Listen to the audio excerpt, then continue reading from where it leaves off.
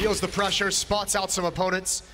He's going to call for help. NiKo is rotated in. That's a deadly combination to defend this inner bomb site. It looks like it's going to be just a hit towards this site for Cloud9. Smokes are out, utilities out. There's Rush, he peeks out, no one's watching up a ramp. That's what the backup's for. Miscommunication from FaZe and Cloud9 have found their way in. Two big entries from Rush, and he continues forward. That's the third. He can't be stopped, and FaZe has to give it up. A fourth round now that is traded back and forth.